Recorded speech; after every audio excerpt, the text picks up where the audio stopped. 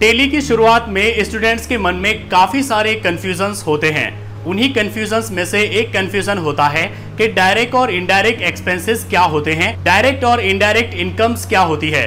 Tele में incomes और expenses से रिलेटेड लेजर्स क्रिएट करते समय कन्फ्यूज़न होता है कि उनको डायरेक्ट में रखा जाए या इनडायरेक्ट में रखा जाए। तो आज का ये वीडियो पूरा देखने के बाद आपका ये कन्फ्यूज़न दूर हो जाएगा और आप आसानी से समझ जाओगे कि किस एक्सपेंसेस को डायरेक्ट में रखना है किसको इनडायरेक्ट में रखना है? तो चलिए शुरू करते हैं।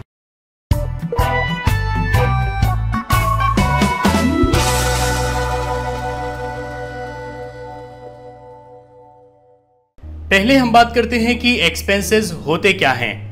माल के प्रोडक्शन और उसको बेचने में जितने भी खर्चे होते हैं, उन्हें एक्सपेंसेस कहा जाता है।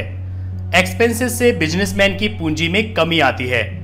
एक्सपेंसेस दो तरह के होते हैं। डायरेक्ट एक्सपेंसेस और इनडायरेक्ट एक्सपेंसेस डायरेक्ट एक्सपेंसेस वो खर्चे होते हैं जिन्हें बिजनेसमैन माल के प्रोडक्शन में या फिर माल को खरीदने में करता है। और जब तक वो माल बेचने के लिए तैयार नहीं हो जाता, तब तक के सारे खर्चे इसमें शामिल होते हैं। डायरेक्ट एक्सपेंसेस गुड्स यानी वस्तु की लागत को बढ़ा देते हैं।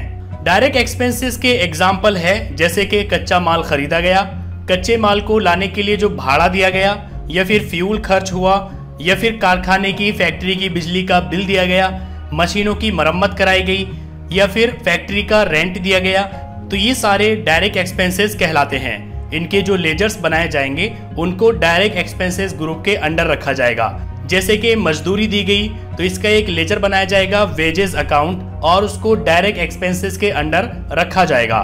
दूसरे होते हैं इनडायरेक्ट एक्सपेंसेस ये वो खर्चे होते हैं जो गुड्स की बिक्री और ऑफ़िस से रिलेटेड होते हैं।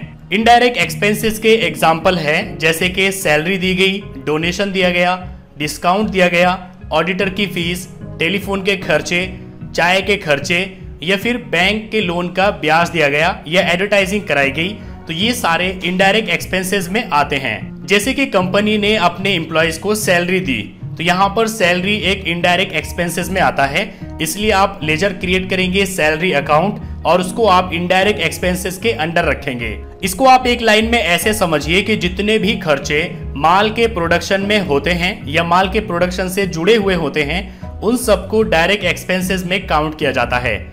जबकि ऐसे खर्चे जो माल के प्रोडक्शन से जुड़े हुए नहीं होते, उनको इनडायरेक्ट एक्सपेंसेस में काउंट किया जाता है। अब हम बात करते हैं इनकम की। जब हम मार्केट में गुड्स को सेल करते हैं तो हमें पैसे मिलते हैं। इन पैसों में से एक्सपेंसेस को घटाने के बाद, जो भी पैसे बचते हैं, उनको हम आय यानी इनकम कहते हैं। इनकम दो तरह की होती है डायरेक्ट इनकम और इनडायरेक्ट इनकम डायरेक्ट इनकम वो इनकम होती है, जो हमें गुड्स या सर्विसेज़ को सेल करने के बाद हासिल होती है। जबकि इनडायरेक्ट इनकम वो इनकम होती है जो हमें गुड्स या सर्विसेज़ को सेल करने के अलावा किसी और तरीके से हासिल होती है। जैसे कि हमें कहीं से डिस्काउंट मिला, कहीं से कमीशन मिला, या कहीं से रेंट मिला, या हमने कहीं पर पैसा इन्वेस्ट किया था तो वहाँ से हमें ब्याज मिला तो ये सब इनडायरेक्ट इनकम में आता है। तो इसको भी आप एक लाइन में ऐसे समझ सकते हैं कि जितनी भी इनकम्स गुड्स या सर्विसेज़ को सेल करने से होती है, यानी बिज़नेस की मेन इनकम होती है, उनको डायरेक्ट इनकम कहा जाता है। जबकि ऐसी इनकम्स जो गुड्स या सर्विसेज़ को सेल करने के अलावा किसी दूसरे तरीके से होती है, उसको इनडायरेक्ट इनकम कहा जाता है। अब जैसे कि कंपनी को कहीं से कमीशन रिसीव हुआ कमीशन मिला तो आप एक लेजर क्रिएट करेंगे कमीशन अकाउंट और उसको आप इनडायरेक्ट इनकम ग्रुप के अंडर रखेंगे, क्योंकि ये इनडायरेक्ट इनकम में आता है। चलिए हम बात करते हैं कि टेली में डायरेक्ट और इनडायरेक्ट एक्सपेंसेस और इनकम्स के लेजर्स को कैसे क्रिएट किया जाता है। लेकिन उससे पहले मैंने एक टेबल बनाई हुई है, आपको ये देखनी चाहिए। ये आपको नोट्स में मिल जाएगी। इसमें मैंने आपको दिखाया है कि डायरेक्ट और इनडायरेक्ट खर्चे कौन कौन से हैं। जैसे कि कच्चे माल की ढुलाई में जो पैसा खर्च किया गया, वो डायरेक्ट एक्सपेंसेस में आएगा।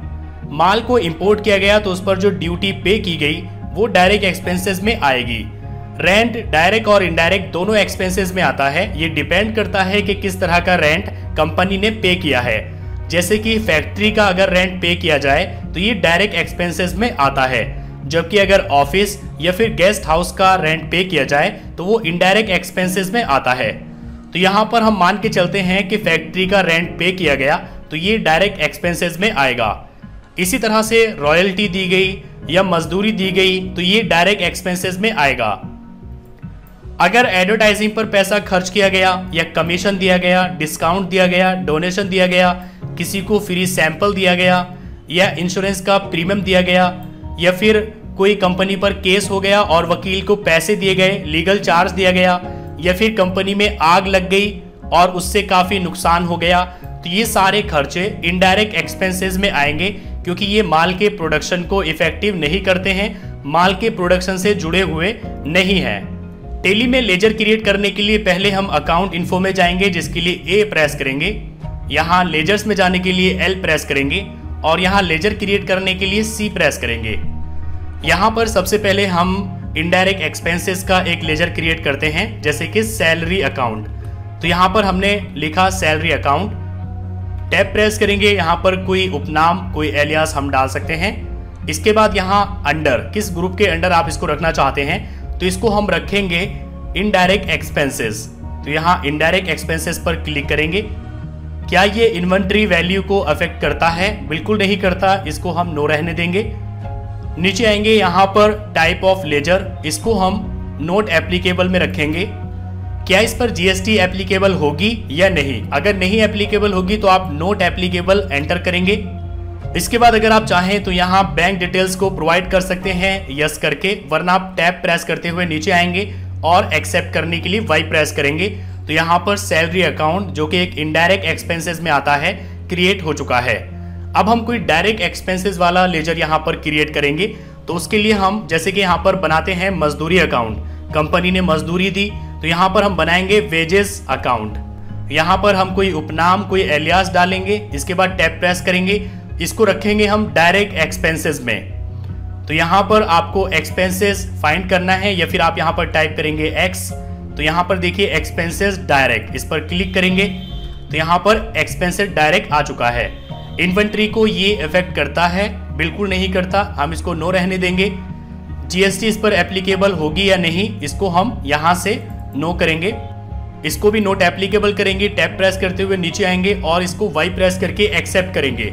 तो यहाँ पर एक वेजेस अकाउंट जो कि डायरेक्ट एक्सपेंसेस में आता है क्रिएट हो चुका है। इसके बाद यहाँ पर हम एक इनडायरेक्ट इनकम का लेजर क्रिएट करेंगे, जिसमें कमीशन आता है, या डिस्काउंट आता है, या फ्री सैंपल आता है। बहुत सारे हैं जो इनडायरेक्ट इनकम में आते हैं। तो यहाँ पर हम डाल देते हैं कमीशन अकाउंट कमीशन अकाउंट इसके बाद टैप प्रेस करते हुए नीचे आएँगे। इसको हम रखेंगे इनडायरेक्ट इनकम में। तो इसके लिए आप आई एन सी यहाँ पर टाइप करेंगे, आपके सामने आ जाएगा इनकम तो इसमें से हम इनडायरेक्ट इनकम चूज़ कर लेंगे। इन्वेंट्री वैल्यू इससे इफ़ेक्ट नहीं होती है नो रखेंगे और टैप प्रेस करते हुए नीचे आएँगे। जीएसटी भी इस पर एप्लीकेबल नहीं होगी तो इसको भी हम नोट एप्लीकेबल कर देंगे। यहाँ पर इसको भी हम नोट एप्लीकेबल करेंगे टैप प्रेस करते हुए नीचे आएँगे और यहाँ से हम वाई प्रेस करके इसको एक्सेप्ट करेंगे। तो इस तरह से यहाँ पर आप डायरेक्ट और इनडायरेक्ट एक्सपेंसेस के लेजर्स क्रिएट कर सकते हैं। डायरेक्ट और इनडायरेक्ट इनकम्स के भी आप यहाँ लेजर आसानी के साथ क्रिएट कर सकते हैं। सो आई होप कि अब आप समझ गए होंगे कि जितने भी खर्चे डायरेक्ट प्रोडक्शन से रिलेटेड होते हैं, उनको डायरेक्ट एक्सपेंसेस में काउंट किया जाता है। और जितने भी खर्चे डायरेक्ट प्रोडक्शन से रिलेटेड नहीं होते हैं, उनको इनडायरेक्ट एक्सपेंसेस में काउंट किया जाता है। यही हाल इनकम का है कि जितनी भी इनकम्स, गुड्स या सर्विसेज़ को सेल करने से हासिल होती है, उनको डायरेक्ट इनकम कहा जाता है।